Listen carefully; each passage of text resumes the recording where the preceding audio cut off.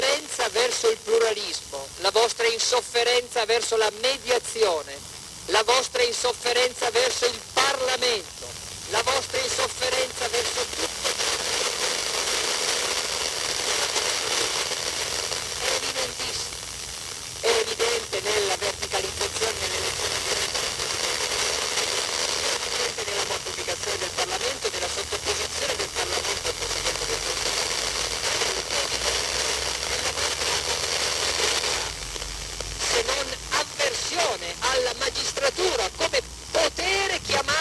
a mitigare e a